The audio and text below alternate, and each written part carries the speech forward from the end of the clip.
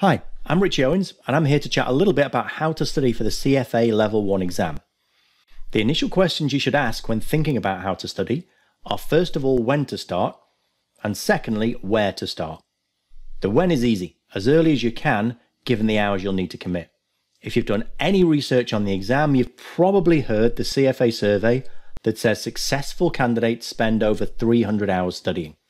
So if you figure on allocating, say, 20 hours a week, that leaves you looking at 15 weeks.